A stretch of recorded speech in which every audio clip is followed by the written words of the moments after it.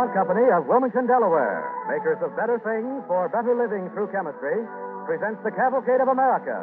Tonight's stars, Douglas Fairbanks and Walter Hampden.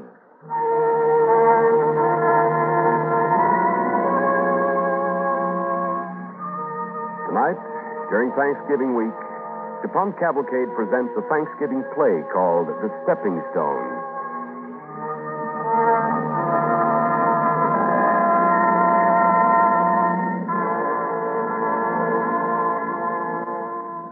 330 years ago today, on November 21st in 1620, a band of cold, sick, hungry, and desperate men gathered on the deck of a ship riding at anchor off Cape Cod. There, on that day, they signed the first American Charter of Civil Liberties and Civil Responsibilities, the document now known as the Mayflower Compact. Tonight, the DuPont Cavalcade brings you their story. Walter Hampden will play the part of William Brewster, and Douglas Fairbanks will be John Alden.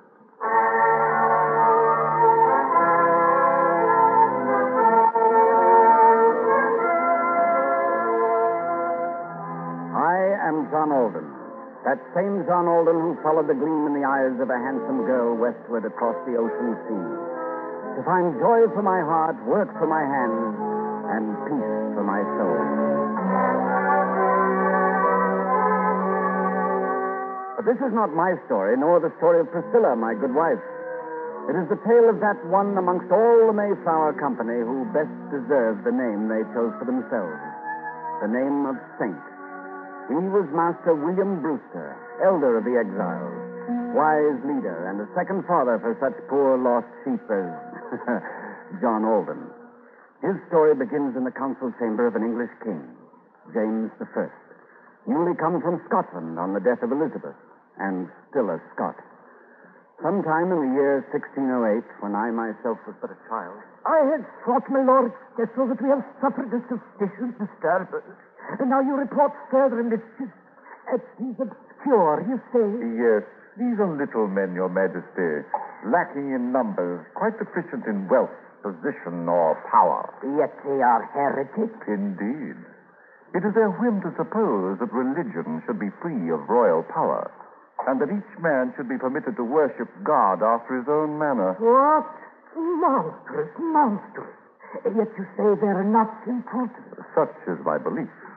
They are, most of them, poor men, tinkers, tailors, storekeepers, and such. Mm.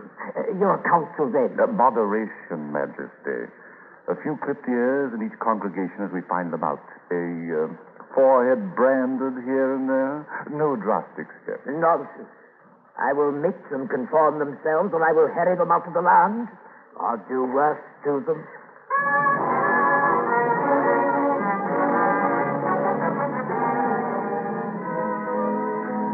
Among the little people was Master William Brewster, postmaster and innkeeper at Scrooby in a far corner of Nottinghamshire. With Richard Clifton and John Robinson, this Brewster had formed a secret congregation of free worshippers. When word of the king's purpose reached the elders, I vow we must never submit to this lordly and tyrannous power. What say you, Master Brewster? That we are like to have small choice in the matter, Richard. The power is too great. Oh, why should God have given England to the devil's very nephew? Perhaps to test the strength of our own convictions, Master Robinson. This great gilly on the throne suffers in his mind from the canker of kings, a belief in force. We must summon up an answerable courage. But what shall we do, brother? Go on as before. Worship God and trust in Him. Meet in secret as before. Love each one the other as before. But, but must we not prepare? For exile? Yes, yes, I fear we must. When the blow falls, we must be ready. There's been talk of Holland. It is said a man may call his soul his own in the lowland cities. That is true, true enough as our world goes. I've made inquiries in Amsterdam. I have friends there. The king's men? Maybe so. Though I think not. I heard no horses. Open the door. Oh, master, Master, young Will Bradford. Master Brewster, good master, I have news of great evil. Here, lad, sit you down. Uh, Compose yourself, my boy. I have ridden and walked and run from Lincoln Town this night, Master, to warn you. In the market, I heard it. Now, quietly, Will. Now, what is this word that you have for us? We are betrayed. What? The names of all our congregation are in the hands of the king's bailiff. Oh. He rides to Scrooby on the morrow. They will take us up, every one. He said we shall be put to torture. Torture. It has come sooner than I thought. Brothers, it is God's will that we leave England.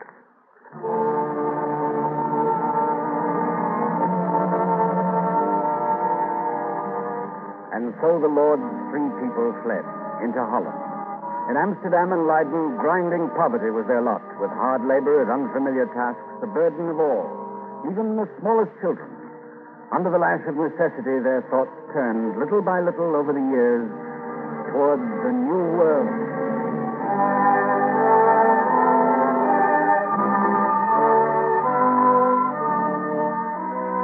William Brewster who pressed them forward in this new adventure. As Bradford was to write one day, a great hope and inward zeal they had of laying some foundation in those remote parts of the world. Yea, though they should be but stepping stones unto others for the performing of so great a work.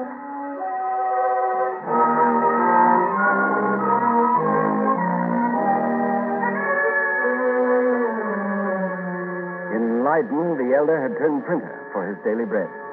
Certain tracts published by him offended the authorities, both Dutch and English. And so he alone of all the company was still a fugitive in the year 1620.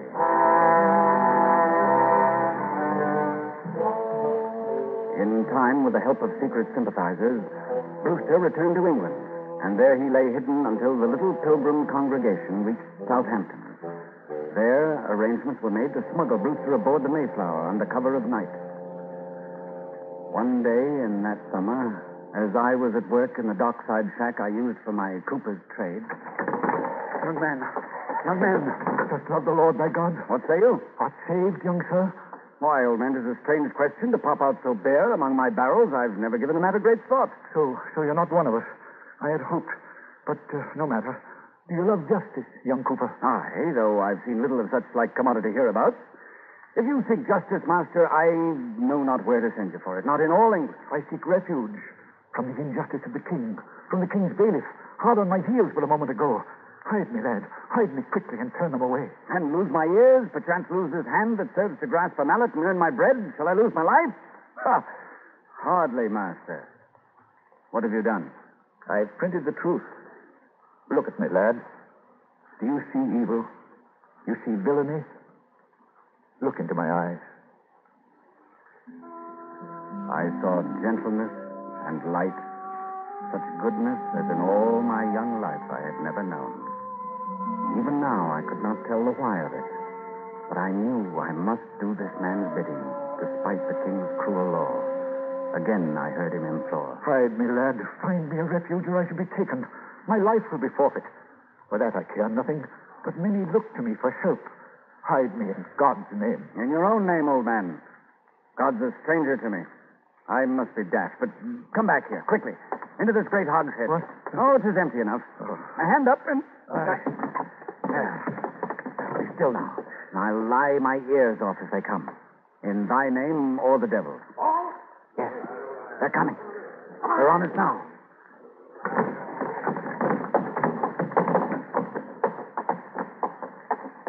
Who are you? John Alden, Cooper by trade. Speak truth, Cooper, in the king's name. Have you seen a small, hunched over man with a brown waistcoat and a look of hypocritical holiness in his face? That I have, save I saw not his face. He passed here not um, three minutes since and in great haste. Which way? Uh, uh, out from the docks, up um, up into the town. He uh, uh, he was clutching at his breast as if in great pain from running. If you lie, you shall pay up on the rack. Come along, we'll take him yet. there, old man, I've earned me a fool's reward. Let me help you out. Here. Oh, I've been in tighter places, lad, these past few years. Ah, thanks. Thanks. I, I take it my first words did mystify your ears. Ah, it was a strange encounter. Dost love the Lord thy God? Who can answer to that? Some of us can. We have many secret partisans on this coast. For the manner of password, a countersign. Oh, Lad, I'm William Brewster, lately a printer by trade. I'm John Alden, the cooper. Surely we are well met, though we must part right soon. Elder Brewster. Priscilla, Oh, Master. I saw the soldiers. where's your father? Where's Master Mullins? He waits upon your coming at the place we had agreed. He dared not to leave, so he sent me in search of you. I saw the soldiers enter here. I was afraid for Oh, there now, girl, I'm quite safe by the art of this young man. Priscilla Mullins, this is John Alden, who has done me a great kindness without asking why. My service, miss. Why do you stare so? Your eyes, miss. They're like the eyes of the elder here. Are you kin? Only in the spirit, John. We are both of the company who sail for the New World to worship as we will. Would you have need of a well skilled carpenter and cooper, master? What, you, you'd venture with us? Oh, that I would. Ah, uh, but your parents there. I have none. I have these two hands and tools to fit 'em. I can read and write, for my uncle taught me. And I have a mind to see this new land. Well, uh, what say you, Priscilla? If we are to go out in the great dark this night to the ship, we'll need strong arms to row. This did fret my father, for he's not young or well. Let the cooper come, if he will.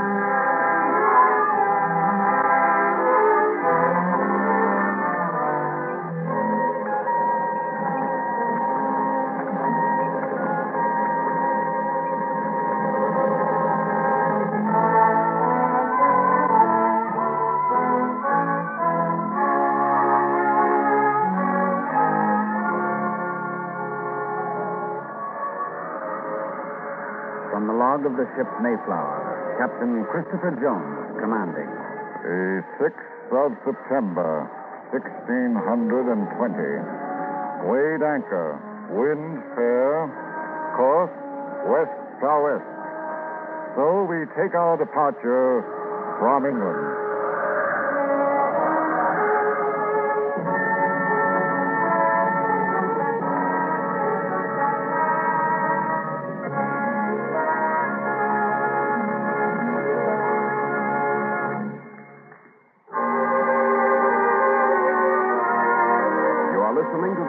Cavalcade of America, starring Douglas Fairbanks as John Alden and Walter Hampden as William Brewster. Sponsored by the DuPont Company, makers of better things for better living through chemistry.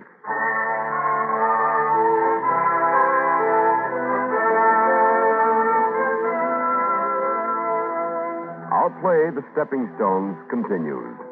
The same being a tale of the Mayflower and the Mayflower Compact, signed 330 years ago today off the Massachusetts shore, in a time when the ideas of religious freedom and equality were new in the world. John Alden tells the story of Elder Brewster.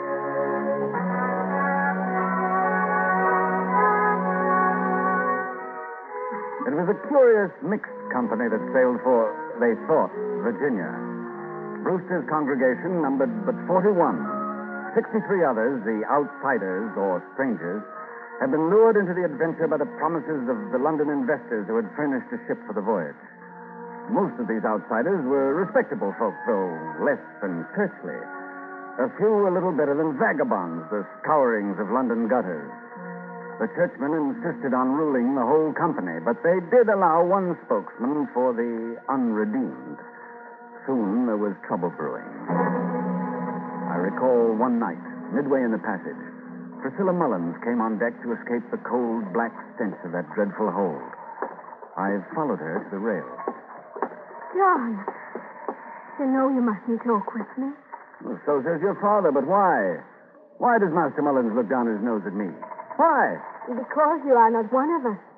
Must I say it again? Because I won't listen to long-winded sermons in yon foul, smothering hold?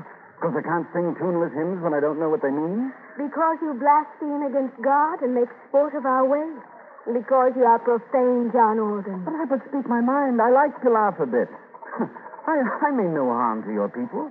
Well, hear me out, Priscilla. There, there are those among this ship's company who do wish to harm the saints. What do you mean? That mutiny's brewing with those you call outsiders. Mutiny. They will not long brook your elder's authority once lands in view. You see, They like not being forever outside. The ship is our ship by charter. Those wretched people from London have their spokesman in Master Christopher Martin. Master Christopher speaks for the soft ones, the tame cats, those with servants under bonds and guineas jingling in their purses. There are others, a different, desperate sort. Vile wretches. Wretched they are and rough, and some of them are ready for evil deeds. But do this. If you know where Master Brewster lies hidden, go to him. Tell him the cooper says tis time for him to come forth.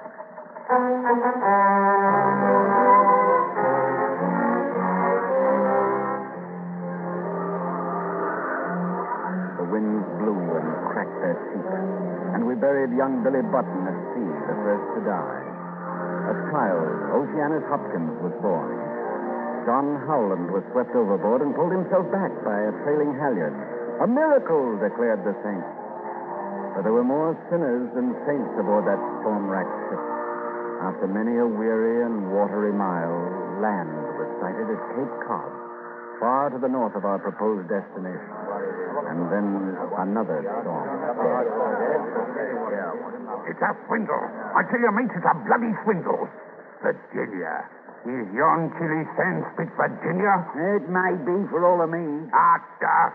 We're far to the north. And you know for why? You tell us so why. It's too much for my wit. Because in Virginia, those psalm-singing, holy pulpit pounders would come once more under the hand of the king. They could lord it over us no longer. It's a swindle, I say. Can we swim to Virginia? No. But we can take the ship and sail her there. Who's to stop us? There's no law here. There's Captain Jones, Law, and he's a hard man. Captain Shrimp, all bluster and blow. I could break him in two like this wooden peg. I'll tip this business to a round dozen of the bolder lads. We'll meet here tonight to plan it out. While them canting hypocrites are at their prayers.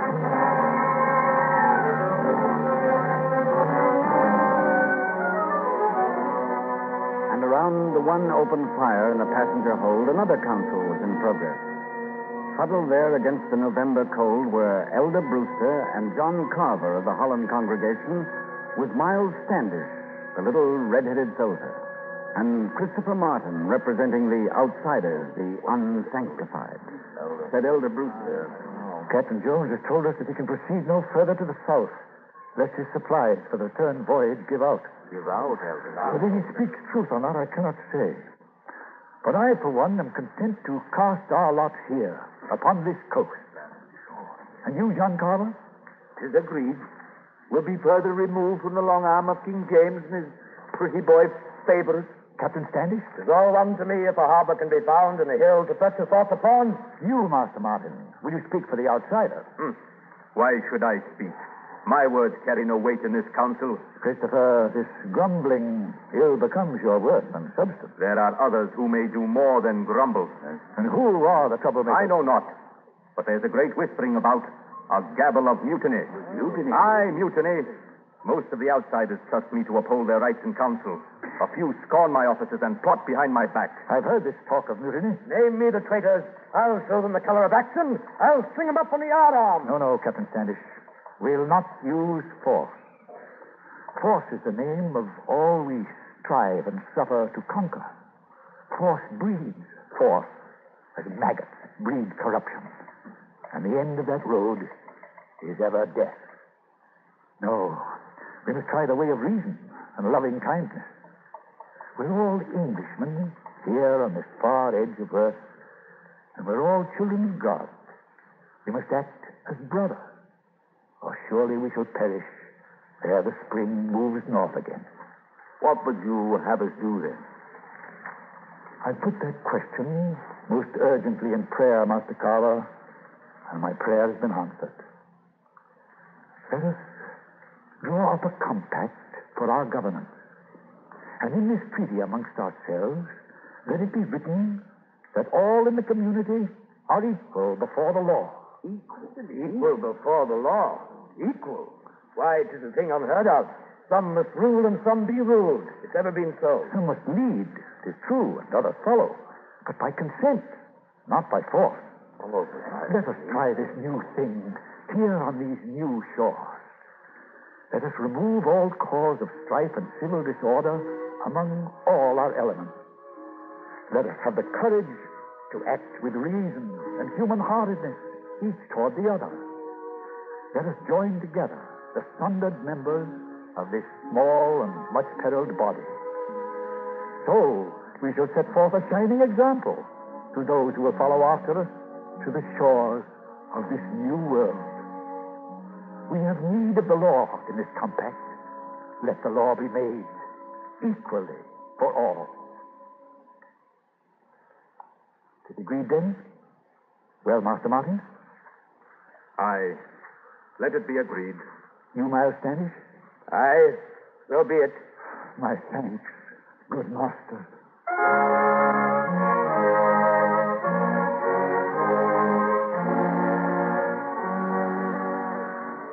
This gray and sleety hour is the 11th of November, old style, in 1620. November 21st in your new calendar, 330 years ago today. To all the assembled Mayflower Company on deck, William Brewster offers his compact. In the name of God, amen. We, whose names are underwritten, the subjects of our dread sovereign Lord, James the First, of Great Britain, France, and Ireland King. Brothers, brothers, I beg of you, tis but a form of words. We are English still. This compact will be heard at home. Let us not have the Stuart princelings send a ship of war against us. We We do by these presents, solemnly and mutually, in the presence of God and of one another, covenant and combine ourselves together into a civil body politic for our better ordering and preservation. And by virtue hereof, to enact, constitute, and frame such just and equal laws, ordinances, acts, constitutions, and offices from time to time, as shall be thought most meet and convenient for the general good of the colony, unto which we all promise due submission and obedience. In witness whereof, we have hereunder subscribed our names at Cape Cod, the 11th of November, in the year of our Lord, 1620. Who will sign this compact? I, John Carver. I, William Bradford. I, Edward Winslow. I, Isaac Allerton. I, Miles Standish. Though 'tis a great foolishness. Who among the artisans will come forward now? This is for all of us. Not just the Holland men, and not just the gentry born. Tis for all of us. Masters and yeomen alike. Who will come forward and sign? John Alden? Yes, I'll sign with all my heart, as I do love justice.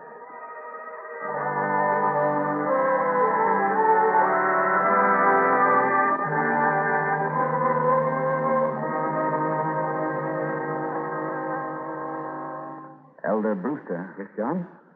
Um, there'll be no mutiny now. Now the violent tongues are silent. We've removed their cause for complaint. And you've won a great victory. You've made a great light in the world. The victory belongs to the Lord, John. All light is his light, time without end. I thought you'd say that. Elder, Yes, lad. could you teach me what you mean when you say such things? Could you show me this way you have chosen, this way of truth and light?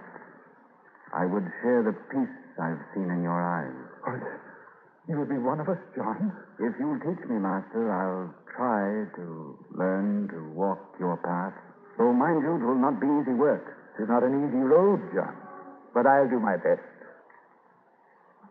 Wait, uh, where are you going? To tell Pris- Priscilla Mullins and her father.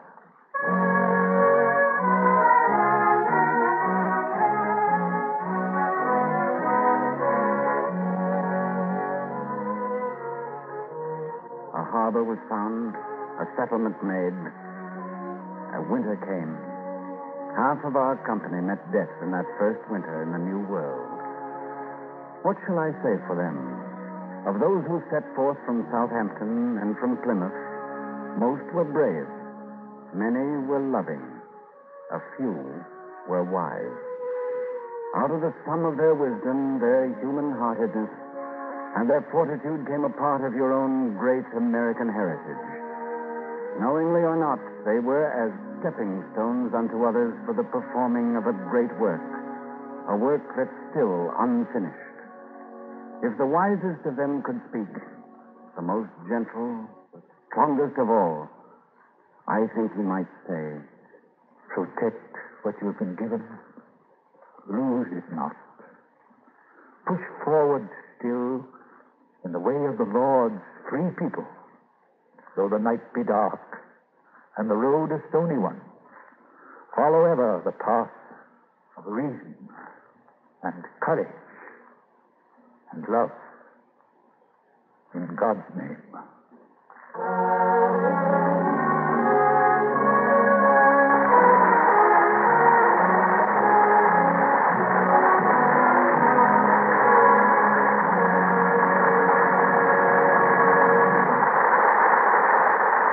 Thanks to Waldo Hampden, Douglas Fairbanks, and the Cavalcade Players for tonight's story, The Stepping Stones. And now, Bill Hamilton speaking for the DuPont Company. This will be the 50th Thanksgiving Day of the 20th century, and America has come halfway through a hectic hundred years. Yet here we are, and we've taken all that fate has hurled at us, and have grown stronger every day. This is reason enough for Thanksgiving. We should, as a nation, lift our voices in a great hymn of thanks to our Maker for the wisdom, the courage, the adaptability, the good fortune, the plain doggedness that have brought us through safely. One secret of this strength, beyond question, is the indomitable urge that God has given us to create, to build, to improve. More than a century and a half of experience has shown the secret of America's strength in war and in peace. A way of living and working we know as the American way of life. May we continue in it and prosper. May we continue in it and achieve one day the Treaty of Peace for which mankind has prayed so long and tearfully. The Treaty of Peace which will endure forever.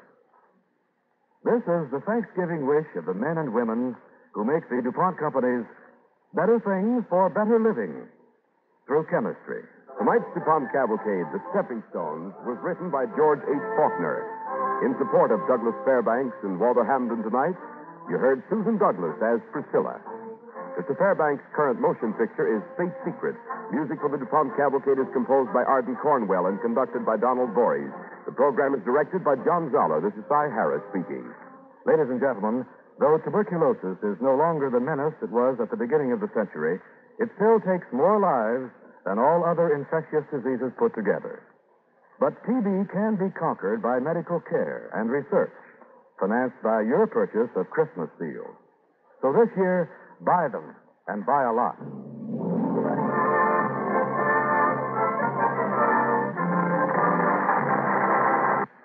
Hear lovable Baby Snooks, then Bob Hope back in the States on NBC.